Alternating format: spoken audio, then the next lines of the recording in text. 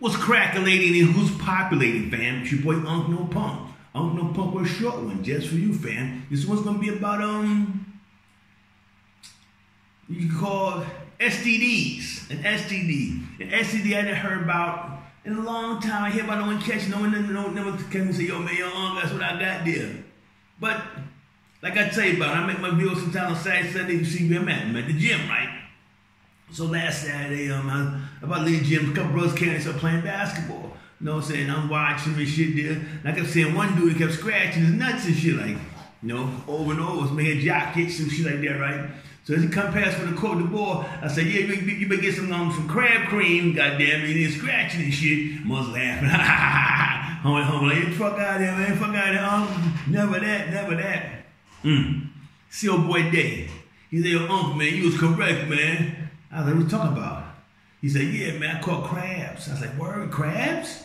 I said, I, I was just playing around about that. I was like, shit, I heard, I never heard about nobody saying about catching crabs since maybe like 90 or something like that, fam. About 90, you know what I'm saying? I even, even old Unc survived the 1986 crab epidemic, fam. Yes, it was rampant out there back in the early 80s and mid 80s. Why? Must had them bushy afros down there and the nappy, the nappy pussies, which I still love and miss. Right? What I'm saying, fam? Yes, I do love and miss. But um, as he told me this there, I'm laughing and giggling. I'm like, oh man, I they cut the crabbies. You know?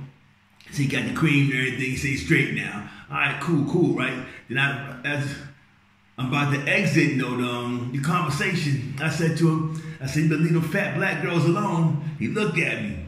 He's like, um, what's talking about? I said, I bet you was a fat black one who gave you crabs.